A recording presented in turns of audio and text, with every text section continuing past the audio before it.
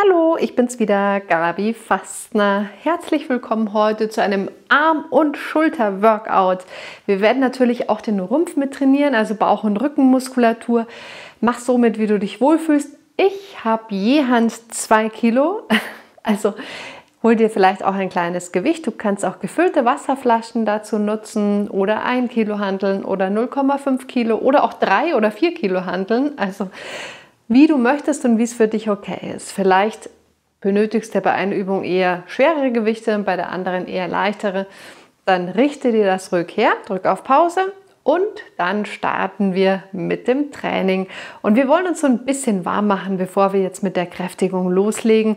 Dazu kommst du in eine kleine Grätsche, die Knie zeigen nach außen Richtung Fußspitzen und kreis deine Schultern ganz locker nach hinten. Einfach so ein bisschen die Schultern und Arme aufwärmen. Wichtig ist, wenn du mit Gewicht arbeitest, dass du dein Handgelenk immer ein, in einer Linie mit dem Unterarm hast. Also nicht abknicken, mach nur weiter, sondern immer in einer Linie halten. Und wenn es nicht mehr geht und du merkst, du verspannst dich gerade im Nacken, dann lieber eine Pause einplanen. Ist völlig okay. Lass die Arme locker und jetzt nimm beide Hände einmal links oben, rechts unten öffnen, rechts oben, links unten, öffnen, links oben, rechts unten. Und das Ganze wirklich locker hin und her, Schultern aufwärmen, Schultergürtel,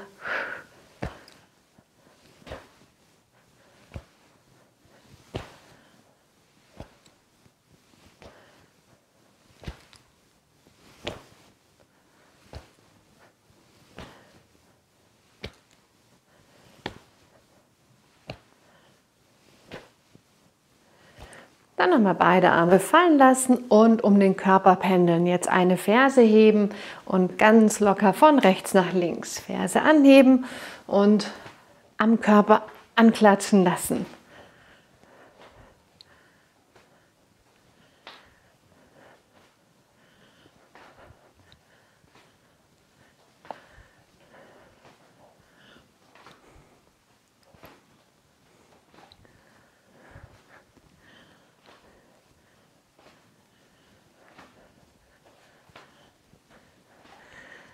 Ganz langsam zur Mitte einpendeln, die Arme auspendeln lassen.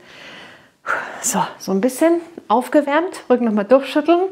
Wenn du jetzt Gewichte vom Boden aufhebst, mit geraden Rücken bitte, also Rücken gerade und über deine Beinkraft nach oben heben. Sehr gut.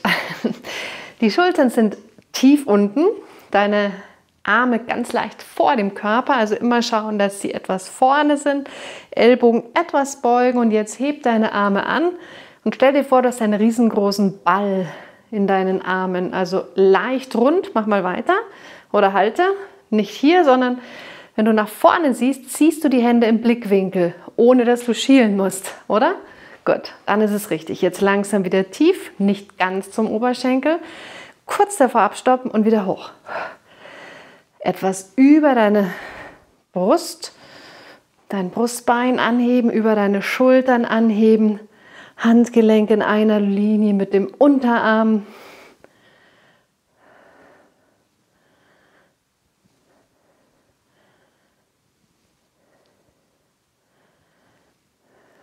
So, jetzt bleibe unten und dann ziehst du die Hände vor dem Brustbein hoch. Also hier anheben und wieder zurück und hoch und ab. Auch hier die Hände bis zum Brustbein, die Ellbogen dürfen höher. Seitlicher Anteil deiner Schulter.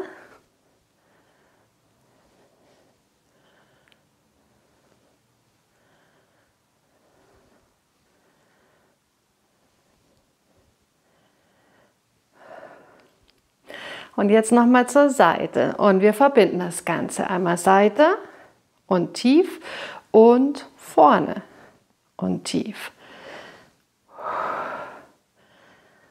Nacken entspannen lassen.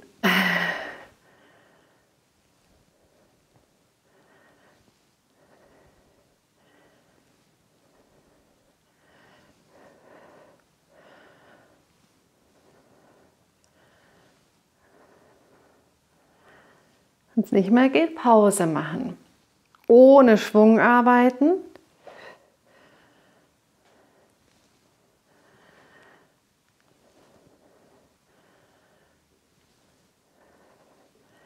Noch einmal und hoch und entspannen, lösen.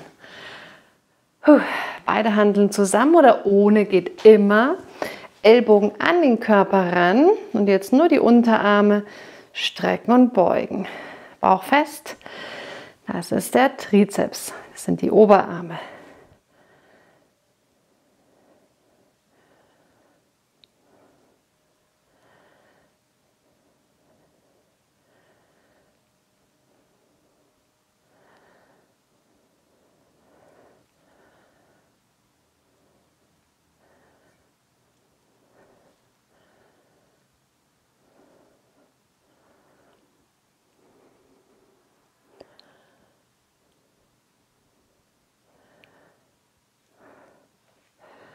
Geht noch.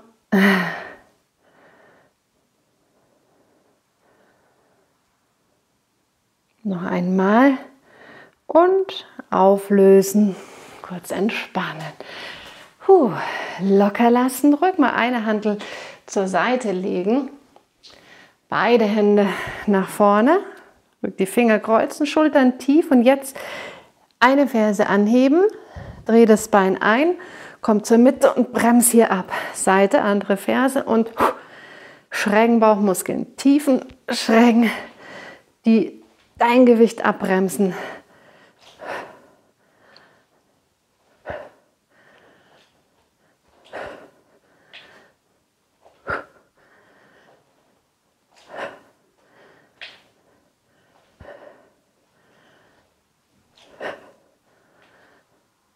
kraftvoll.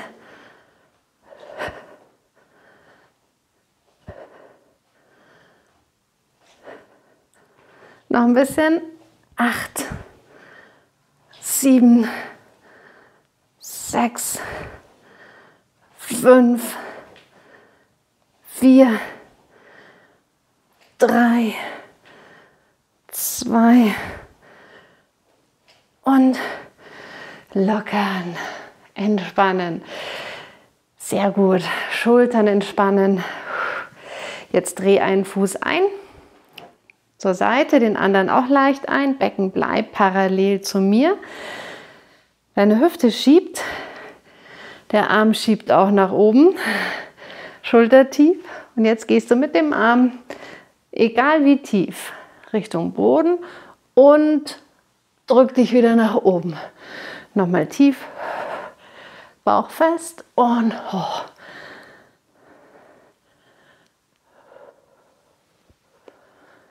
Hüfte schiebt nach links.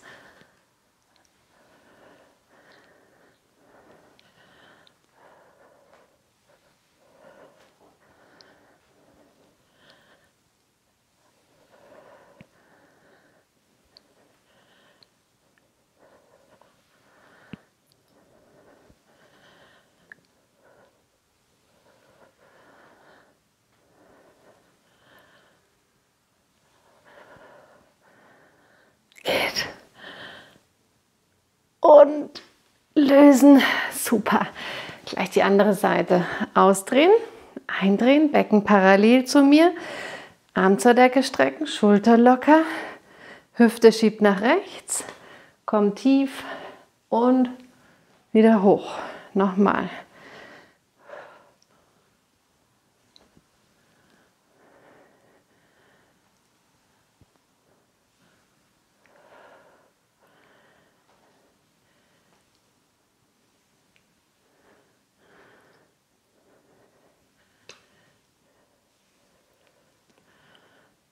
Geht noch.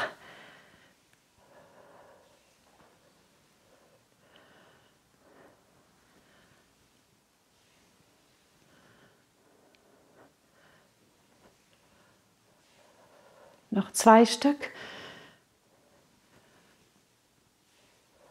Letztes Mal Seite und entspannen, lockern. Zweite Handel wieder dazu holen. Schultern entspannen, Bauch ist fest. Und jetzt nimmst du deine Arme in den rechten Winkel und bewegst sie nach vorne und wieder zurück. Schulter vorne, der Anteil vorderer Teil. Natürlich Bizeps.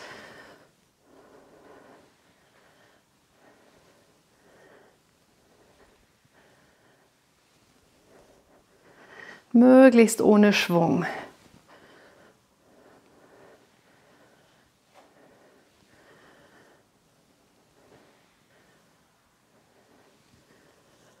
Atmen.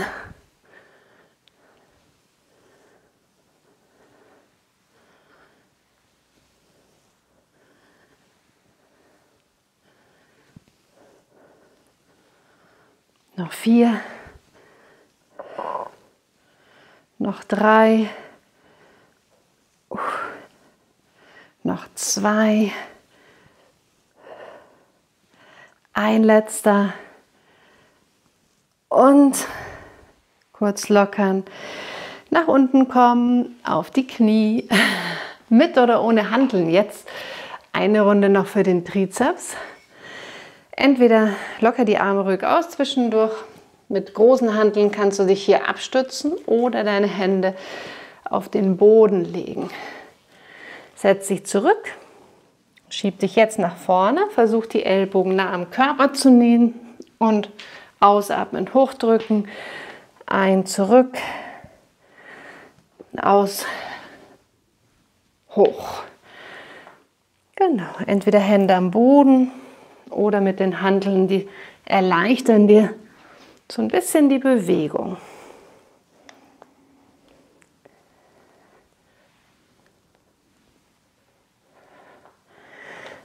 Denk dran, dass du dein Becken mitnimmst und du vor allem nur so tief gehst, dass du auch gut wieder nach oben kommst.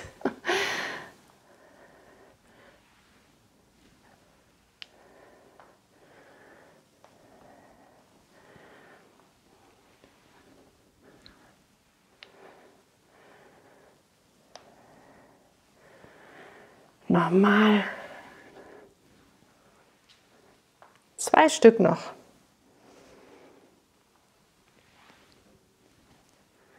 Letztes Mal noch.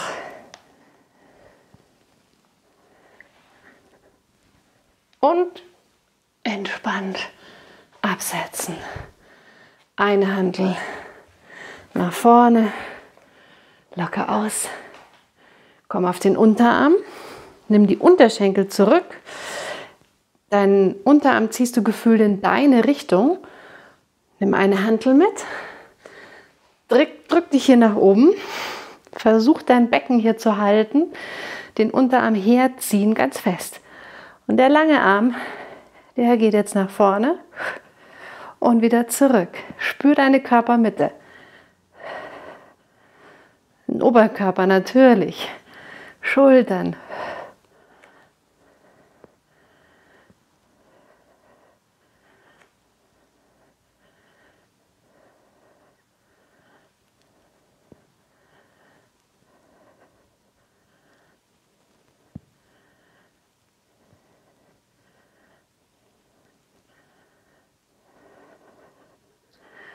noch zwei. Letztes Mal merkst du dann den Bauch, auch wie er mit muss. Und super wechseln, lockern. Sehr gut. Andere Seite. Gefühlt den Unterarm zu dir ranziehen. Becken hochheben. Halten. Die Richtung. Und so, jetzt müsst du auch einen Unterschied merken zwischen rechts und links. Mhm.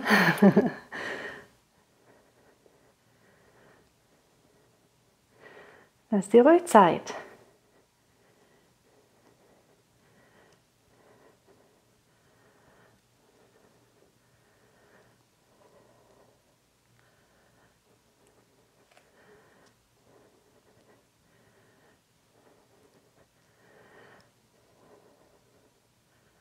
Noch zwei Stück. Noch einen. Und entspannen. Sehr gut. Loslassen. Auslockern. Hinsetzen. Eine oder zwei Handeln nehmen. Schieb die Fersen in den Boden. Fußspitzen zeigen Richtung Decke. Jetzt nimmst du deine Handel. Kannst auch so nehmen, wie du möchtest. Lehn dich ein Stück zurück, lass aber dein Brustbein gehoben, der obere Rand kippt und dann drehst du nach rechts und nach links. Ausatmen, ausatmen, dich ausfringen in den Bauch.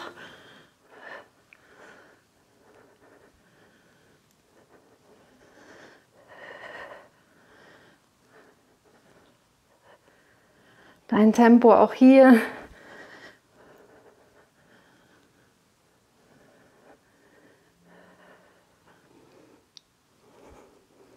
Immer noch. Huh. Noch sechs, fünf, vier, drei, zwei, einen. Kurz lösen. Alles von vorne. Komm nach oben zu mir. Am besten nimmst du gleich beide Handeln mit über deine Beinkraft. Lockere dich einen Moment aus. Und wir beginnen in der Grätsche. Knie sind etwas gebeugt, Bauchnabel sanft nach innen gezogen. Bereit? Arme leicht vom Körper weg. Aufrichten, seitlich, hoch und vorne hoch im Wechsel. Schau, Ellbogen dürfen etwas höher als die Schultern. Nochmal zurück und Seite und hoch.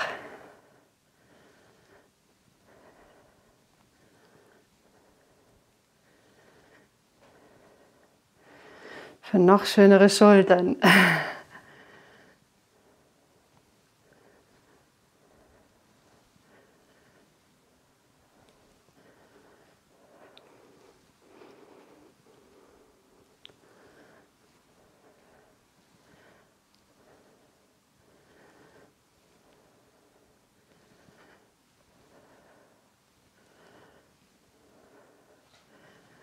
Und wenn du möchtest, dann hebst du jetzt deine Fersen leicht vom Boden ab für die letzten fünf.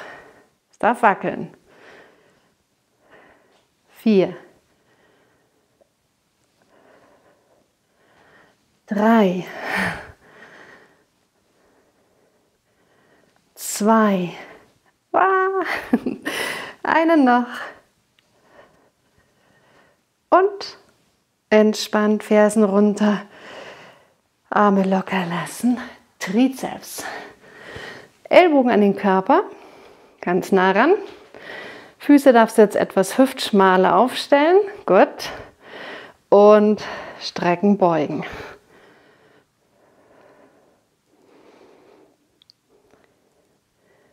Und vielleicht magst du jetzt eine Runde mit abgehobenem Bein machen.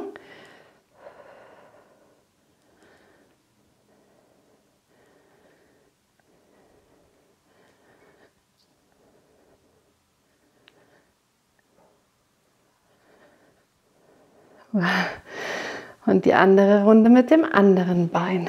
Acht, sieben, sechs, fünf, vier, drei, zwei, einen.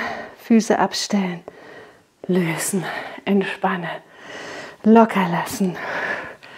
Sehr gut. Grätsche. Eine oder zwei Handeln. Ich lege eine ab. Beide Hände nach vorne. Ferse heben. Und jetzt versuchst du zur Seite den Impuls zu geben. Zur Mitte und zur Seite Dynamik. Mitte und hopp. Mitte, hopp. Stell dir vor, du hast einen Schläger in der Hand und du willst einen Ball zur Seite wegschlagen. Genau.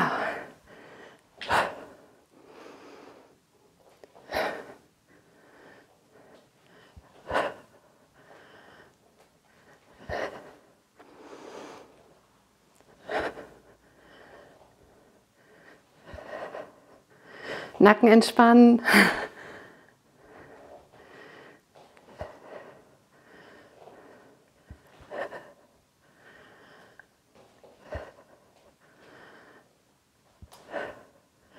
Noch vier Stück. Vier, drei, zwei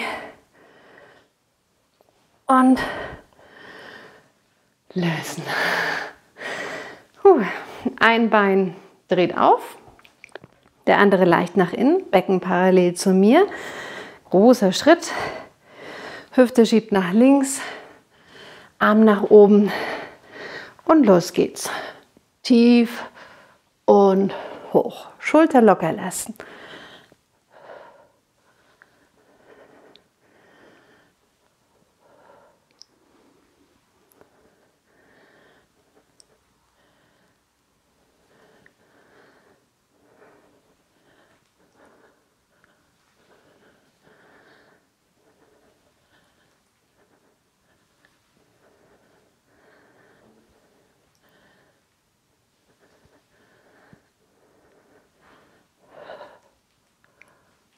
Noch zweimal mit der Seite.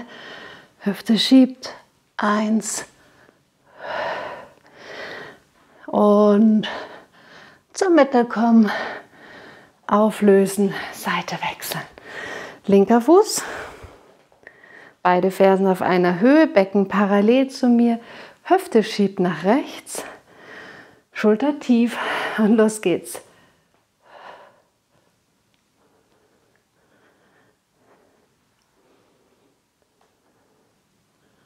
Geht noch.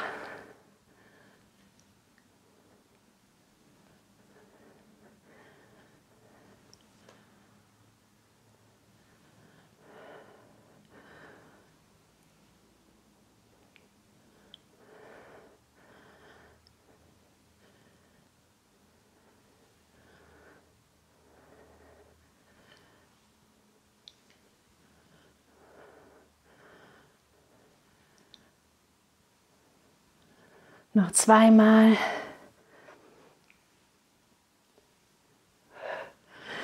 Letztes Mal. Und oh, komm, lösen. Zweite Handel dazu nehmen. Bleib so, die Schultern tief, komm so ein Stück nach vorne. Und jetzt gehen die Arme von dieser Vorhalte, Schultern zurück zur Schulter. Und wieder tief. Nochmal hoch. Kraftvoll. Eindrehen, Handfläche zur Schulter. Wieder parallel zueinander drehen. Bauch fest.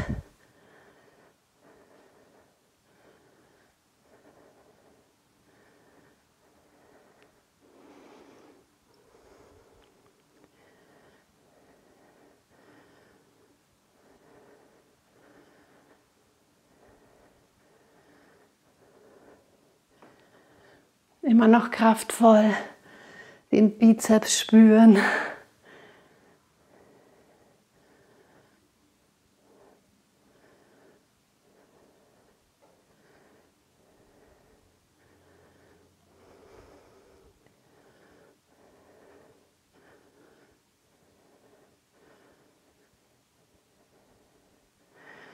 Sieben, sechs, fünf, vier, drei, zwei, einen und auslockern. Nach unten kommen, mit oder ohne Handeln. Nach vorne abstützen. Und jetzt gehst du mit deinem Oberkörper so ein Stück nach vorne. Hast dein Becken, Oberkörper, Oberschenkel in einer Linie ungefähr und versuche nun einen Arm abzuheben und setze ihn wieder ab. Anderen Arm. Ellbogen zieht hoch und ab. Hoch und ab. Es geht auch ohne Handeln.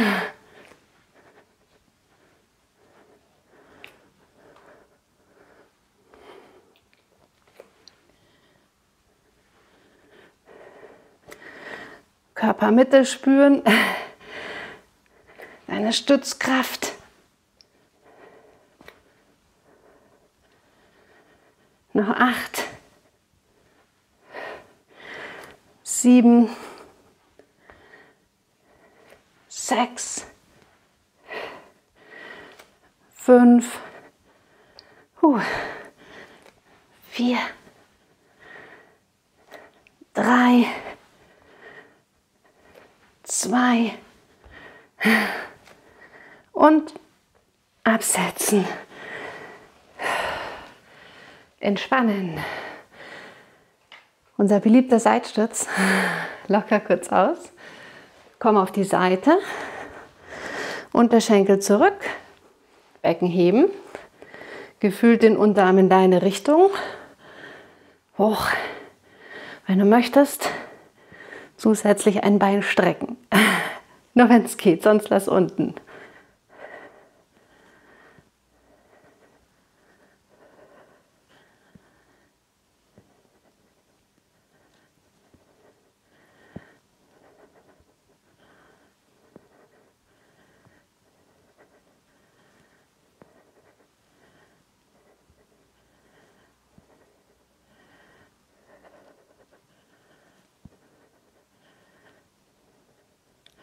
Noch einmal.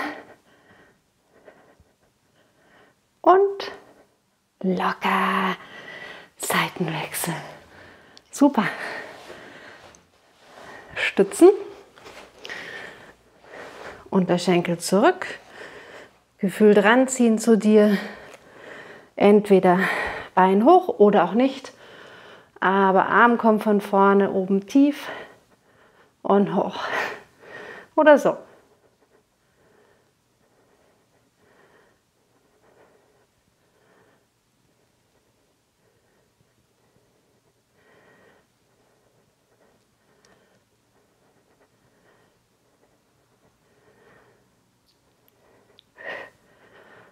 Nochmal. Drei. Zwei. Und ablegen.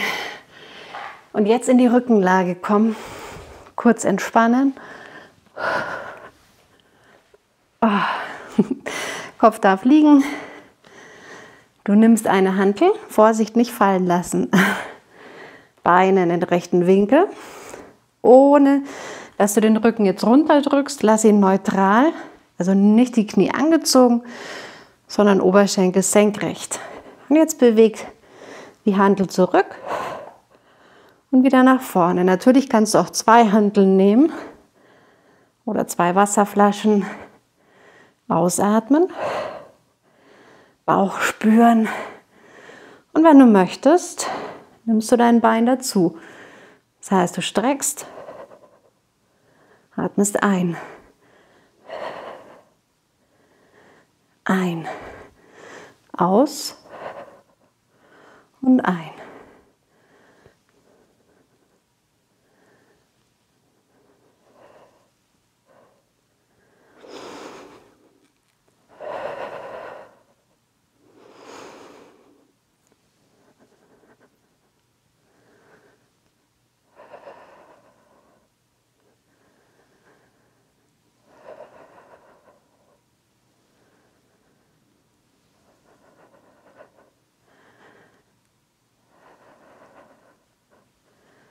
Dicken Gürtel um deine Körpermitte.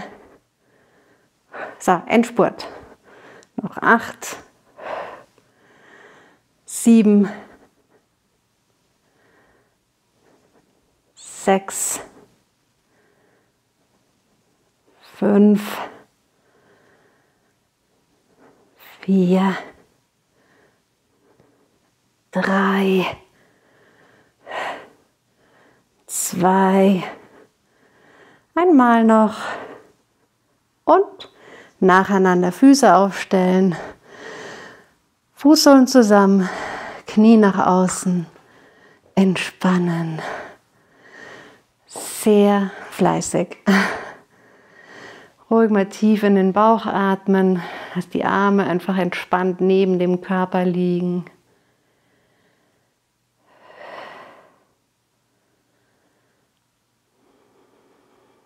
Ein Knie zum anderen dazu, Kopf zur Gegenseite.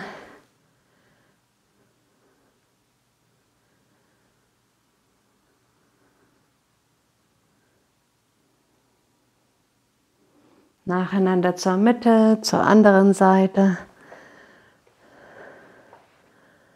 In den Bauch atmen.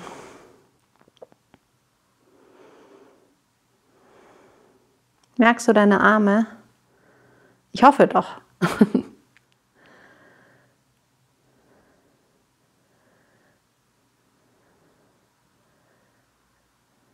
Nacheinander zur Mitte. Jetzt dreh dich ganz auf eine Seite. Komm rüber über die Seite. Nochmal kurz sitzen bleiben für den Kreislauf, egal wie, möglichst gemütlich.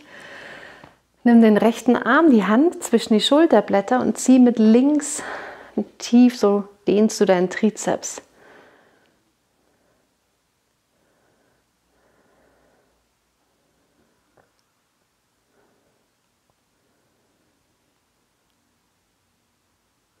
Dann die andere Seite, Hand zwischen die Schulterblätter, tief ziehen.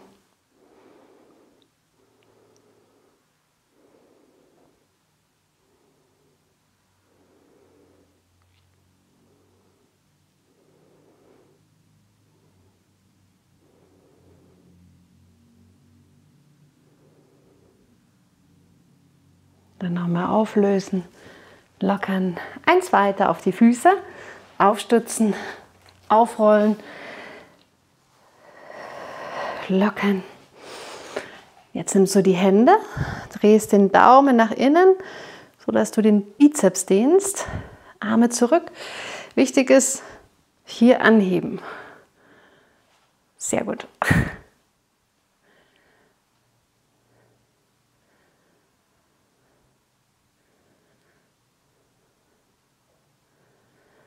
Dann einatmen. Mit der linken Hand dein rechtes Handgelenk, rechte Außenkante, rechte Außenkante kreuzt hinter links und du ziehst die ganze Seite lang.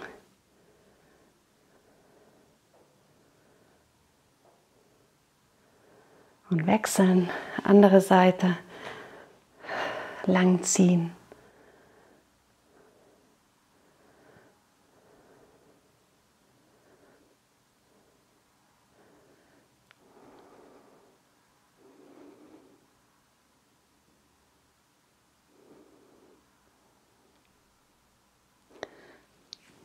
Ausschütteln, gerade auch die Handgelenke. Einatmen, Länge und schwer. Auslocker. Nochmal einatmen, Länge. Streck dich, öffne deine Arme, zieh die Ellbogen zurück, ganz aufrecht, ganz stolz. Einatmen und ausatmen, entspannen. Vielen Dank fürs Mitmachen. Sehr schön. Arme trainiert man doch nicht so oft, oder?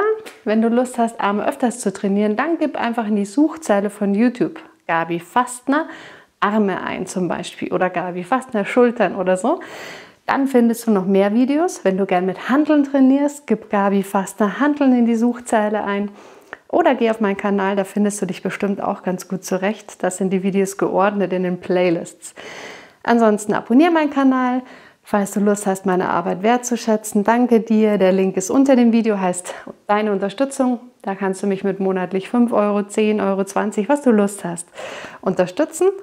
Oder empfehle mich weiter, leite das Video weiter, leite meinen Kanal weiter. Freue mich, wenn sich ganz viele Menschen bewegen. Oder bis zu unserem nächsten gemeinsamen Training. Ich freue mich schon. Bis dann.